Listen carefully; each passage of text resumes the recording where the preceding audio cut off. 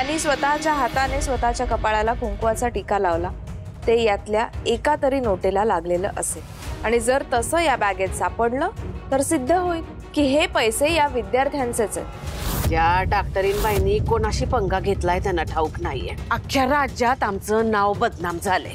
सापाच्या शेपटीवर पाय ठेवल्यानंतर काय होतं त्या डॉक्टरीनबाईंना माहिती नाहीये. तुम्ही सिंधूला काय शिक्षा द्यायची ती द्या पण प्लीज़ राघवला काही करू नका. बरोबर आहे तुमचं. आधी मला प्रॉमिस करा. काय प्रॉमिस हवंय तुला त्यांच्याकडून?